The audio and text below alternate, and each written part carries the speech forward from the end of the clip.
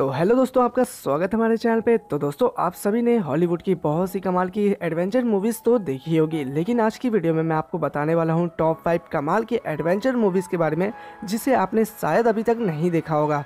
तो वीडियो बहुत ही इंटरेस्टिंग होने वाली है। तो वीडियो पूरा लास्ट तक ज़रूर देखते रहिएगा। और वीडियो शुरू करने से पहले आप लोगों से एक छोटी सी रिक्वेस्ट है। अगर आप मेरे चैनल पे नए हैं तो चैनल को सब्सक्राइब कर ले और साथ ही बेल आइकन को भी ज़रूर दबा दें, क्योंकि मैं आप लोगों के लिए हॉलीवुड मूवीज़ से रिलेटेड वीडियोस लाता रहता हूँ। और साथ में वीडियो को भी लाइक ज़रूर कर दीजिएगा। तो चलिए दोस्तों, आज की काउंटडाउन शुरू करते हैं।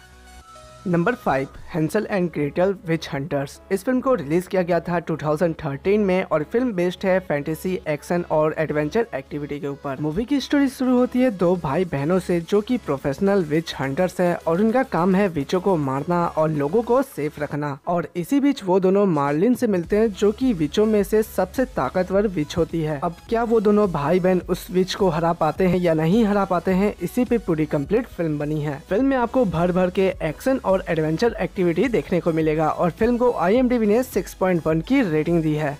Number four Jack the giant slayer इस फ़िल्म को रिलीज़ किया गया था 2013 में और फ़िल्म बेस्ड है फैंटेसी एडवेंचर एक्टिविटी के ऊपर। मूवी की स्टोरी शुरू होती है जैक से, जो कि एक बीज को अपने फार्म में लगा देता है और वो अचानक से बहुत ही बड़ी होकर एक दूसरे दुनिया में पहुँच जाती है और दूसरे दुनिया के कुछ लोग अर्थ पे आ जाते हैं और इसी बीच क्रीचर और दूसरी तरफ़ किंग के बीच घमासान लड़ाई होती है और इन दोनों में से कौन जीतता है, इसी पे पूरी कंप्लीट फ़िल्म बनी है। फ़िल्म में आपको एक्शन और एडवेंचर एक्टिविटी भर भर के देखने को मिलेगा और इस फ़िल्म को आई ने 6.2 की रेटिंग दी है।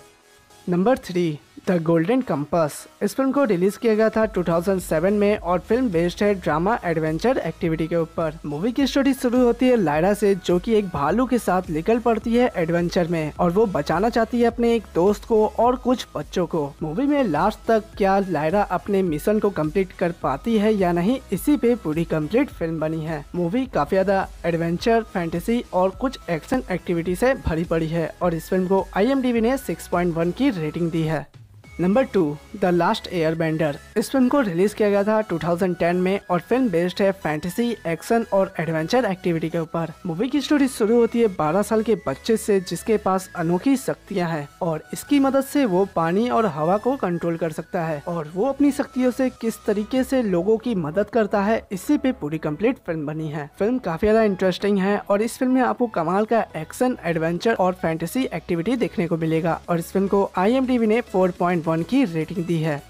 और हमारे लास्ट और नंबर वन में है in the name of the king इस फ़िल्म को रिलीज़ किया गया था 2006 में और फ़िल्म बेस्ड है ड्रामा फैंटेसी एडवेंचर एक्टिविटी के ऊपर। मूवी की स्टोरी शुरू होती है एक फार्मर से जिनके बीवी और बच्चों को किडनैप कर देते हैं कुछ लोग और वो निकल पड़ते हैं अपने बीवी और बच्चों को बचाने के लिए। लेकिन फ़िल्म में लास्ट तक क्या वो अपने बीवी और बच्चों को बचा पाते हैं या नहीं, इसी पे पूरी कंप्लीट फ़िल्म बनी है। फ़िल्म में आपको एक्शन और एडवेंचर एक्टिविटी भर भर के देखने को मिलेगा और इस फ़िल्म को आई ने 5.1 की रेटिंग दी है।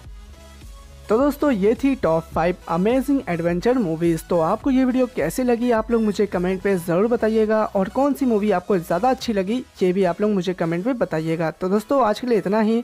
तो अगर आपने अभी तक वीडियो को लाइक नहीं किया तो जल्दी से वीडियो को लाइक कर दें और चैनल को सब्सक्राइब करके बेलाइकन को ज़रूर दबा दें। तो goodbye and thanks for watching this video